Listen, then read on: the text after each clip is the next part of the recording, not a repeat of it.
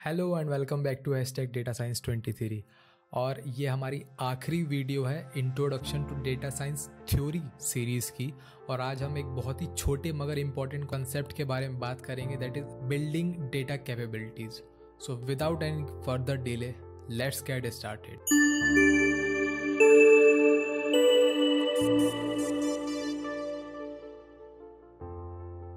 so so, जो हमारा आज का टॉपिक है बिल्डिंग डेटा कैपेबिलिटीज़ आर्टिकल पे बेस्ड है जो लिखा गया था मोनिका रोगाती द्वारा।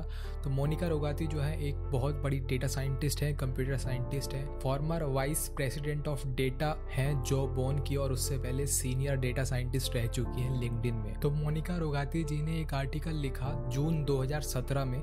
लिंक आपको डिस्क्रिप्शन में मिल जाएगा।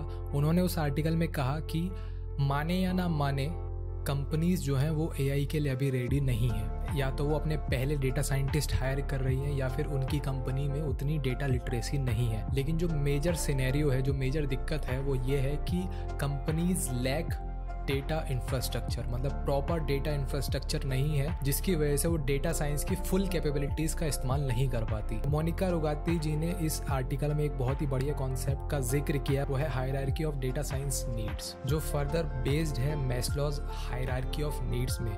मैस्लॉज हायरार्की ऑफ़ नीड्स जो है, वो एक मोटिवेशनल साइकोलॉजिकल थ्योरी है, जो सबसे पहली बार 1943 में पब्लिश हुई थी। अगर आप इस थ्योरी के बारे में डिटेल में पढ़ना चाहते हैं तो मैं लिंक डिस्क्रिप्शन में डाल दूँगा, लेकिन हम मेजर टेक अवे के बारे में बात करेंगे। तो जो मेजर टेक अवे है मैस्लॉज हायरार्की ऑफ़ नीड्स का, वो ये है कि हर एक इंडिविजुअल की कुछ नीड्स होती हैं और वो नीड्स तीन लेवल में क्लासीफाई की जा सकती हैं। पहली आपकी बेसिक नीड्स दूसरी आपकी साइकोलॉजिकल नीड्स और तीसरी है सेल्फ एक्चुअलाइजेशन नीड्स तो जो आपकी बेसिक नीड्स हैं, वो है आपकी physiological needs food water warm rest security needs belongingness and love needs psychological needs में आती हैं।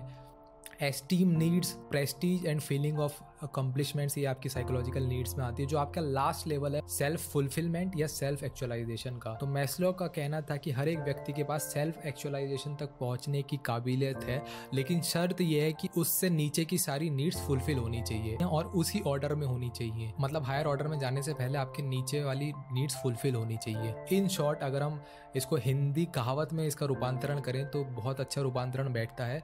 भूखे पेट न भजन हुई गोपाला, ले तेरी कंठी, ले तेरी माला। तो जो हमारी data science hierarchy of need है, वो इसी हायरार्की पर बेस्ड है, इसी हायरार्की से इंस्पायर्ड है। अब हम एक एक लेवल को समझने की कोशिश करेंगे। तो डेटा साइंस नीड्स में जो हमारा पहला स्टेप है, जो हमारा पहला चरण है, वो है डेटा कलेक्शन का। तो इसमें हमें इस बात का ध्यान रखना है, इस इंफ्रास्ट्रक्चर का ध्यान रखना है कि हमारी डेटा नीड्स क्या है और हमारे पास क्या अवेलेबल है। जो डेटा हमारे पास आ रहा है, वो किसी यूज़र फेसिंग प्रोडक्ट से आ रहा है या हम रेलिवेंट यूज़र इंट्रेक्शन को रिकॉर्ड कर रहे हैं। क्या डेटा हमारे पास किसी फ़िज़िकल सेंसर के थ्रू आ रहा है? क्या कोई ऐसा मेथड हो सकता है, कोई ऐसा इंस्ट्रूमेंट हो सकता है जो अभी तक डेवलप नहीं किया गया है, लेकिन उससे डेटा कलेक्ट करना आसान है। तो सही डेटा सेट का चुनाव करना, सही तरीके से डेटा कलेक्ट करना, ये हमारा पहला लेवल है पहला चरण है। जो दूसरा स्टेप हमारे पास है या दूसरा चरण हमारे पास है, वो है डेटा फ्लो का। तो जहाँ से हमें डेटा मिल रहा है, क्या वो रिलायबल सोर्स है, क्या वो रिलायबल स्ट्रीम है मतलब लगातार डेटा आ रहा है कहीं उसमें, ऐसा तो नहीं कुछ ब्रेकेज हो रहा है, क्या प्रॉपर ई पाइपलाइन है? ई पाइपलाइन का मतलब है extract transform and load data मतलब डेटा प्रॉपरली एक्सट्रैक्ट हो रहा है ट्रांसफॉर्म हो रहा है, जिस फॉर्म में हमें रिक्वायर्ड है और प्रॉपरली लोड हो रहा है सिस्टम्स में। हम डेटा को जहाँ स्टोर कर रहे हैं, वहाँ से एक्सेस करना आसान है कि नहीं है? Because reliable data flow is the key of doing anything with data तो एक रिलायबल डेटा का फ्लो होना बहुत ही इंपॉर्टेंट है दूसरे चरण में। जो तीसरा चरण है, बहुत ही कुख्यात यानी इनफेमस चरण है, वो है डेटा क्लीनिंग का। इस स्टेज में हमें पता चलता है कि जो हमने डेटा कलेक्ट किया है, उसमें कुछ मिसिंग तो नहीं है।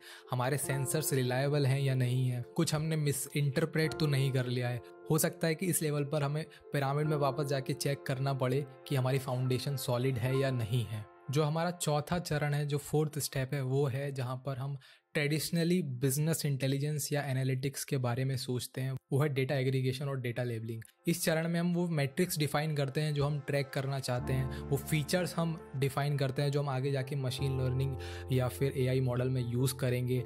ट्रेनिंग डेटा को हम डिज़ाइन करना शुरू कर देते हैं और हम अपने डेटा को लेबल करना शुरू कर देते हैं, जिससे ये तय होता है कि हम क्या प्रिडिक्ट करना चाहते हैं या हम क्या लर्न करना चाहते हैं। अब जो हमारा एक्सपेरिमेंटेशन होता है, वो हमारे फिफ्थ स्टेप पाँचवें चरण में होता है, जहाँ पर हम जो हमने डिज़ाइन किया, उसको हम ए बी टेस्टिंग के माध्यम से या किसी और मेथड से अपने यूज़र्स पे टेस्ट करते हैं डेटा कलेक्ट करते हैं लर्न करते हैं कि जो हमने मैट्रिक्स डिफाइन की थी, उनके बेस पे हम डेटा कलेक्ट करते हैं और उस कलेक्टेड डेटा के बेस पर हम हाइपर ट्यून करते हैं हाइपर पैरामीटर्स को और जो हमें न्यू इंसाइट मिलते हैं, जिनको फीचर क्रिएशन कहते हैं। And not feature engineering. Feature engineering वाला काम पहले ही हो चुका है। तो फीचर क्रिएशन की हेल्प से हम अपनी परफॉर्मेंस को काफ़ी हद तक इम्प्रूव कर सकते हैं। And that's it that's how we set up a proper AI और एम एल पाइपलाइन तो जब भी हम डेटा कैपेबिलिटीज बिल्ड करेंगे आइदर इन ऑर्गेनाइजेशन और इंडिविजुअली तो हम लेयर वाइज लेयर काम करेंगे।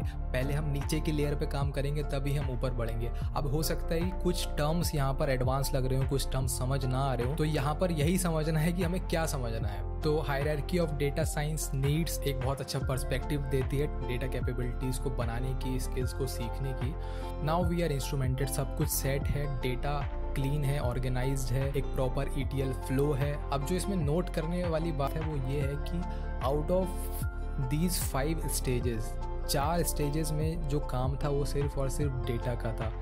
पहले डेटा कलेक्ट करना फिर डेटा स्टोर करना फिर डेटा को एक्सप्लोर करना ट्रांसफॉर्म करना और चौथे स्टेप में डेटा को लेवल करना। जो मेन काम था मशीन लर्निंग का वो था लास्ट स्टेज में। जो एक हार्श रियलिटी है डेटा साइंस की कि 80 टू 90 परसेंट ऑफ़ जो टाइम है वो data cleaning data modeling data aggregation और डेटा लेबलिंग में ही जाता है। So that's it for today आज के लिए बस इतना ही। जल्द ही आपसे फिर मुलाकात होगी किसी नए टॉपिक के साथ। तब तक के लिए अपना ध्यान रखिए। थैंक यू फॉर वॉचिंग जय हिंद।